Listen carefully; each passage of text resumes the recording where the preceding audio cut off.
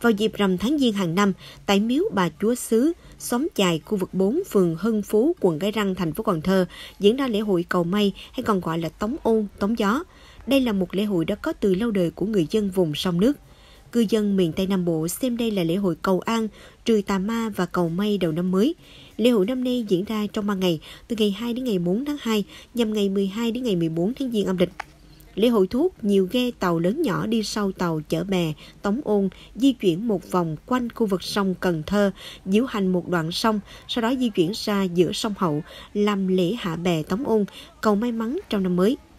Theo người dân, hạ bè xong mọi người ăn uống vui vẻ, ca hát, nhảy múa, múc nước tạt vào nhau, gọi là té nước đầu năm, như để lấy lọc cầu may trong năm mới, lấy nước rửa tay chân, mặt mũi, trai tráng, nhảy xuống sông tắm đùa vui.